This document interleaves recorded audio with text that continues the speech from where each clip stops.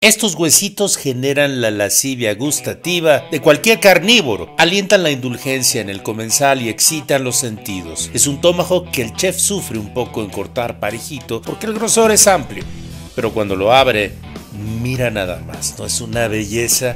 Y luego lo pesan, cuán largo es, y te despides de él y les exiges que lo cuiden bien. Es un Tomahawk de Carrara 640, grados 5 y 6, un grado similar al Prime Gringo y puede que en un descuido hasta mejor perfilado.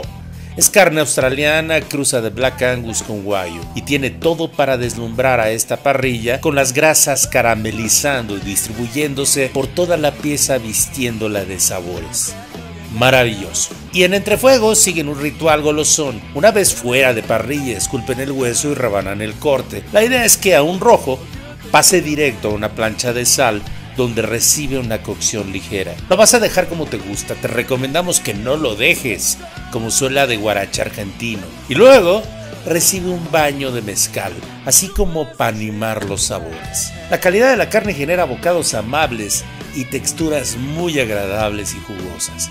Ya el vinito que le pongas enfrente, pues depende de otros factores. Pero si ya entraste en gastos, pues dale. El Tomahawk es un corte divertido, de eso no hay duda.